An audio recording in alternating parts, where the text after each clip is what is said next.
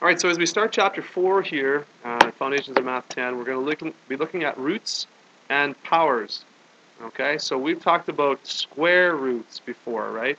Uh, you know what a, a, square root is, and um, you know a power is something uh, with an exponent that we'll find out here, uh, a number and an exponent, or a variable and an exponent. So you should know a little bit about these already. So we're going to explore this a bit more. You should know again what a square root is and some of the exponent laws. We'll go over those in maybe a little bit more detail this chapter.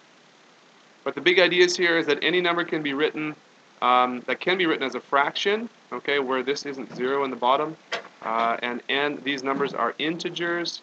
That's called a rational number. So we're going to take a look at what a rational number is, what it looks like, and also uh, there are there are rational numbers, there are irrational numbers. So we'll take a look at those as well. And exponents can be used to represent roots. So that's a that's another big idea and reciprocals of rational numbers. A lot of this isn't going to make much sense to you, but this is what we are going to cover in this chapter. And exponent laws can be extended to include powers with rational and variable bases and rational exponents. Okay, so as we move on to the new vocabulary, we'll, we'll see that here. So some beautiful pictures to start us off there. Okay. All right, well, let's get into our notes, let's start back here. And I'll get you to, uh, to write this stuff down here as we go through. So recall. So this means this is stuff that you already should know, and you do know.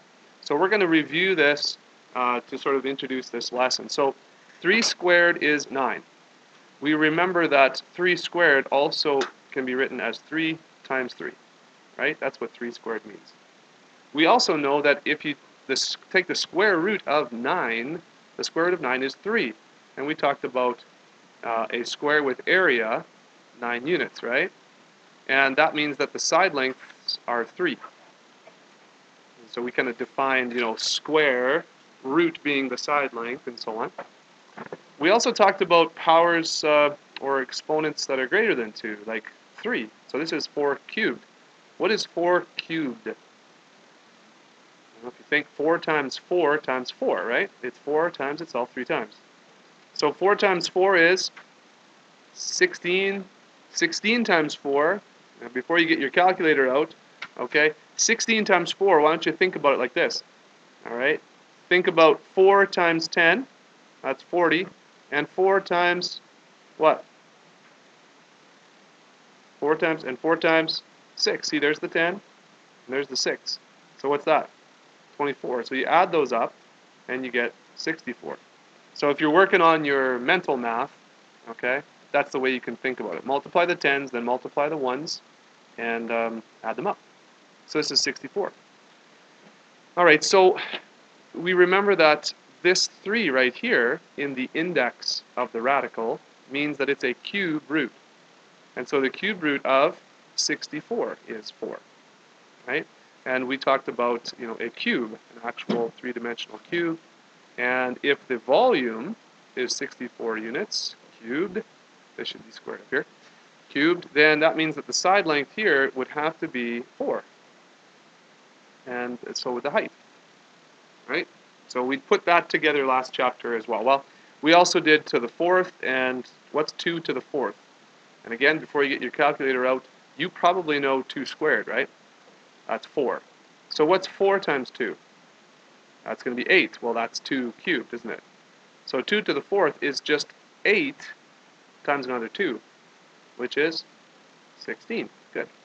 And so the fourth root of 16 is 2, right? That's because 16 can be written as 2 times 2 times 2 times 2.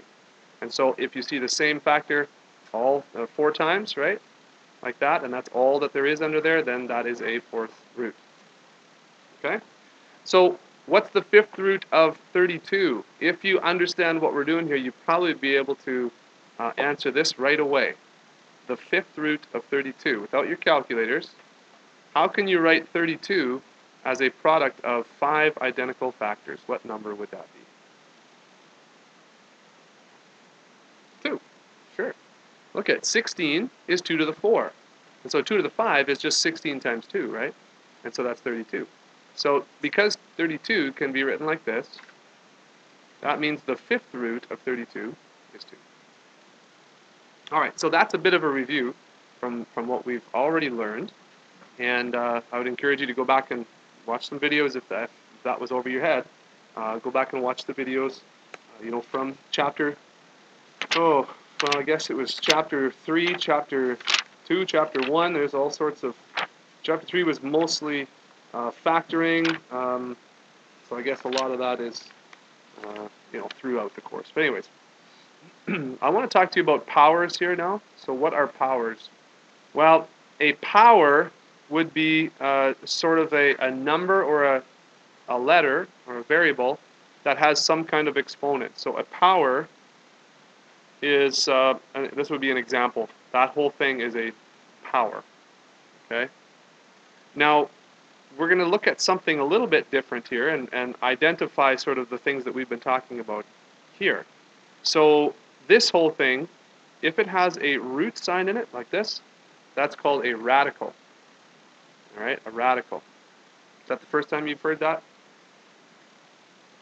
Yeah? Root sign, radical. Not sure if I've mentioned that to you or not, but anyways, this is a radical, the whole thing. And so we, I think we talked about this. This uh, number in here is the index, um, but if we haven't, that's that's what that number is. So up here, you know, that's an index of three, an index of four, an index of five. If there is no number there, what's the index? One. Agree with that? Or two? Which one is it? Yeah, it's two. Okay, because it's a square root, so it's like there's a two there. But because square root is the kind of most common, it's really the, the lowest index that you would have, then we don't put it there. okay, we wouldn't have a, a root with an index of one because that would always just, I guess, be itself. You know. So, anyways, and the number underneath here, whatever the number or letter or or uh, you know whatever is underneath there is called the radicand. Okay, it's called the radicand. All right, so I have some follow-up questions here, just to just to see how much you remember, how much you know here. Without using a calculator, what is the square root of 16? Just go ahead and shout it out. 4. Very good. Yes, because 4 times 4 is 16. Okay, what's the square root of 25? 5. Okay, very good. All right, so that's that's good. That's some basic stuff that you need to know. 25 and 16 are perfect squares, right? That's that's why the result or the answer here is a a whole number, right? Or a, an integer at least. And so that's that's a perfect these are perfect squares. But what if I asked you this question? How can you use this knowledge from above here to approximate or that also means to estimate approximately, right? To estimate what the square root of 20 is. Because even though 20 is not a perfect square, there is a square root of 20. There is some number that when multiplied by itself will give you 20. Because it's not a perfect square, it's not going to be a, um, uh, a, a whole number. So don't use your calculator right now. Just stay off your calculator right now. I don't want you to use your calculator, but instead I want you to use the above answers to approximate. So can anyone take a look at what we did right up here and even just tell me your thought process in how you would guess what the square root of 20 is? Think about that for a second. Okay, I'll get to you in a second. Think about how you would use this information. The square root of 16 is 4, the square root of 25 is 5. How would you use that information to guess what the square root of 20 is? Mackenzie? So you would guess 4.5, okay?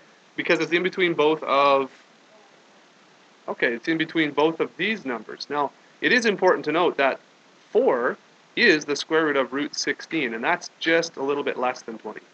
And the square root of 25, which 25 is just a little bit more than 20, that's 5. So I think, I think you're absolutely right that that would be a pretty good guess. Now, this is about 4 units from 16 and about 5 units from 25. So that's pretty close to the middle. Okay? Now, let's try this without taking the actual square root of 20. Let's get our calculators on here. And let's try this. Oh, come on, clear. Okay, quit. Oh. calculator's all froze up. So let's get out of there and refire it up. So let's square 4.5. Okay? Uh-oh. We may have an issue. So let's take 4.5 and let's square it. And what do we get? 20.25. Okay, so it's a little bit greater. 20.25 is a little bit greater than our target here. So it does make a little bit of sense that because 20 is a little bit closer to 16, that maybe this number should be a little bit closer to 4. So if we refined our guess, what would we guess, maybe? How about 4.4? Would you think about that? So let's try 4.4. Well, 4.4 squared is 19.36. So now we're a little bit under. So what might be a good next guess? What do you think? All right, very good. Whoops. Four. Let's try. Let's try 4.45. That's right in between 4.4 and 4.5. So let's give that a try. We'll just do one more here because I think you're getting the point. Oh, really close, okay? You could probably go further than that by saying maybe 4.46 or 4.55 or, okay? You probably could go on forever and ever. So let's just go ahead and do it. What about the square root of 20? What is it actually? Okay, 4.47. So if we went up to 4.6 or 4.7, you would have got pretty, pretty close. Okay? But I don't want you to just get on the calculator and type in square root of 20. I want you to think about what you know that might be before you just jump on the calculator and do it. Okay. All right, let's move on. Okay, now I'm I'm going a little bit deeper here with you to see if uh, to see if you're kind of understanding what I think I need you to understand here. So let's work through this. First of all, what's the index of this radical? What's the index? The index is 3, right here. Everyone agree with that? That's the index. So we're talking about a cube root. Okay? What is the radicand? Did you write that down in your notes? What, what, what was? Remember from the very first page there? What's the radicand? Negative 8. Agree with that? Close. The radicand is everything underneath the radical sign. The radicand is negative 8 over 125. Okay? All right. So what do we do with a fraction? What do we do with the fraction? Well, there's a couple different ways you could write this. All right? And when you have a radical and a fraction, you can do this. You can actually separate that radical to the numerator, that's the uh, value on top, and as well to the denominator. So this is something that you can do. And that might make your life a little bit easier to think about, you know, this whole thing as two separate smaller problems. So let's talk about the denominator first. Without your calculator, can you figure out or make a good guess as to what the cube root of 125 would be? And it should be a whole number, so Okay, what did we what do we know earlier about a cube root here? What which cube root did we? Um, oh, 64. Wasn't 64 a cube root? Where did we have that? Yeah, cube root 64. Okay, so that's four cubed. So let's go up higher. What about five cubed? Well, 5 times 5 is 25. 25 times 5 is actually 125. So this is 5. The cube root of 125 is 5. Because 125 is 5 times 5 times 5.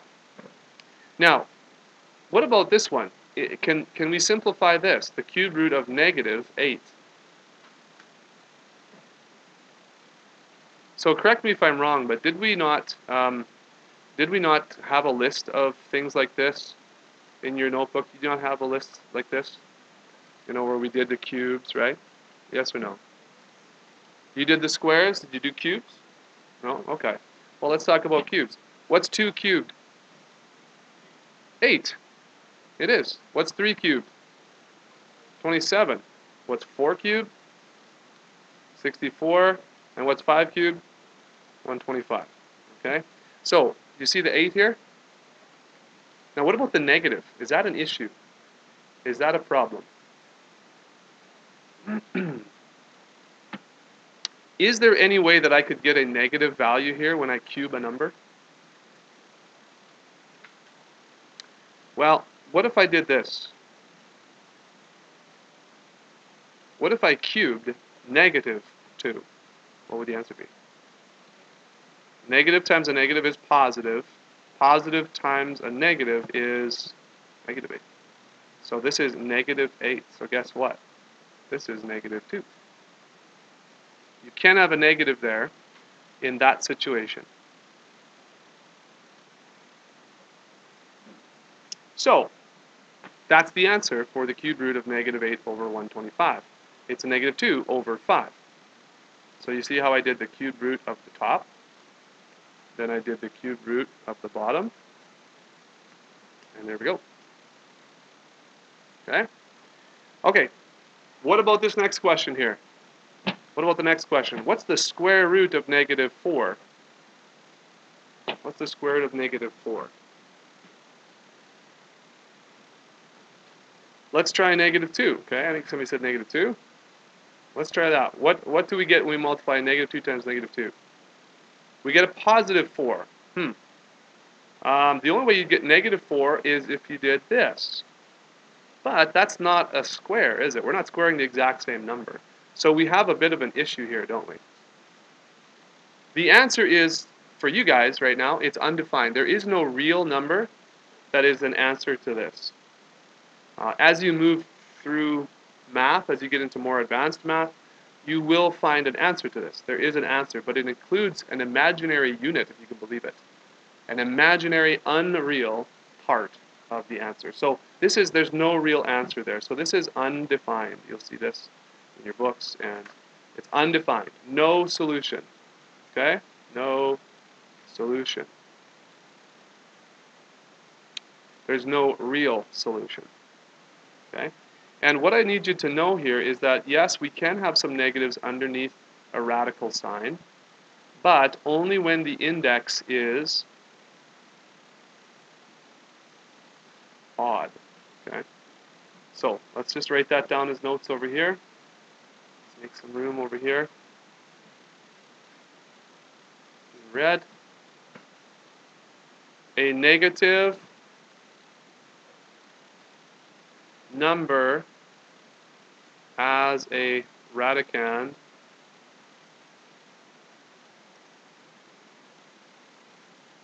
is possible for odd um, indices or indexes. Okay? That's where the index is odd only. Okay? So when I say is possible, I mean there is a real answer. Okay? So for possible, I mean real solution.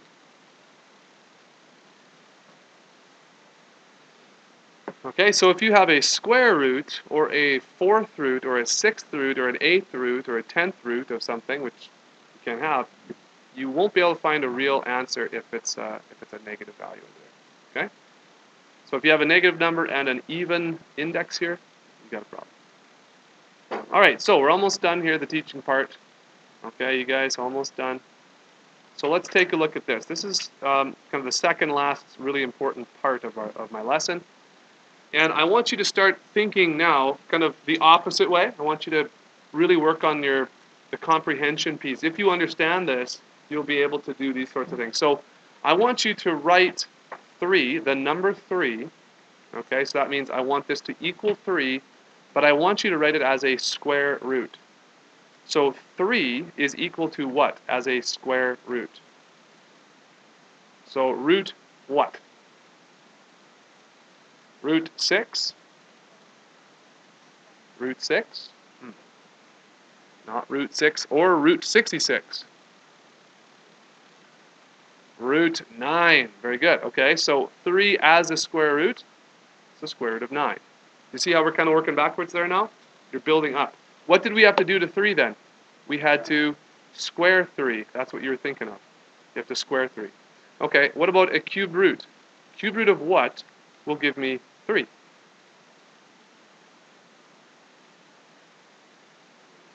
27. Agree or disagree, everyone? The cube root of 27 is 3, so there you go. This is actually equal to 3. That's the same as 3. So we're writing 3 as a cubed root. What about 3 as a fifth root? Well, this is going to be maybe a little tough. You might not be able to do this in your head, maybe. But really, again, remember, we're thinking about what is 3 to the 5, and I actually want to put 3 to the 5, to the power of 5, inside a fifth root. That's what you want to do. Right? And so what is 3 to the power of 5?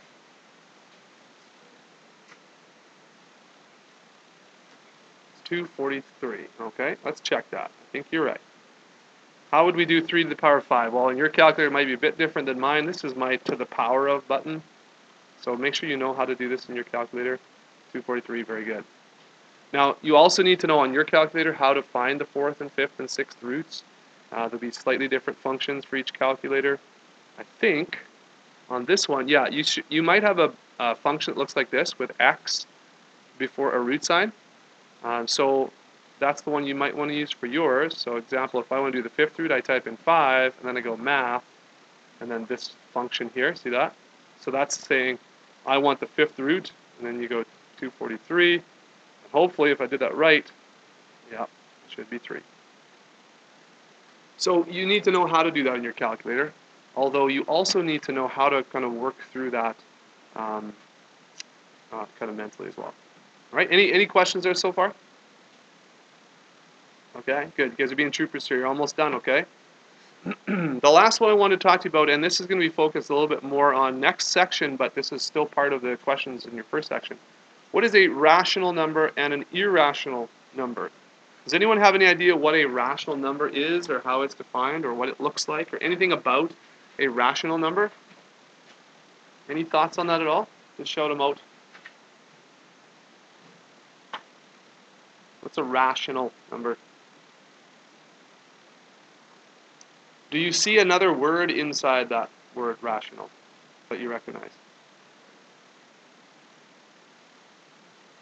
Ratio. That's right. That's the word inside the word. Now listen, here's just a little note. If you see a big word that you don't know what the meaning of it is, try and find the root word. Okay? That's the word that that word, that big word, the smaller word that the big word is built on. Okay? If you don't know what a word means, try and find the root of the word and go from there. That's your huge clue. So a rational number, yeah, the root of this word is ratio. And as a matter of fact, a rational number is a number that can be written as a ratio of integers. So let's just write that down. Can be written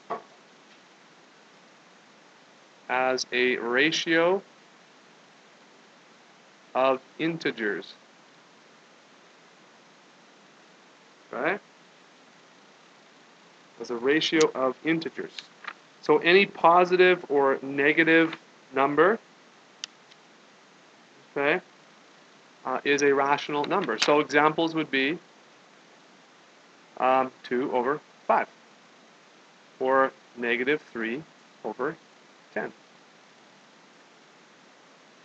Also, negative, uh, 7 is a rational number because it can be written as a ratio. What what would this ratio look like if it's just negative 7? What would it be over? Yeah, over 1. So because it can be written as a ratio, it's a rational number. All right? So an irrational number is a number that cannot be written as a ratio of integers. Cannot be written as a ratio of integers. Okay, and some examples here are square root of 2. Now, how do I know that cannot be written as a ratio of integers? Why do I know that it's irrational?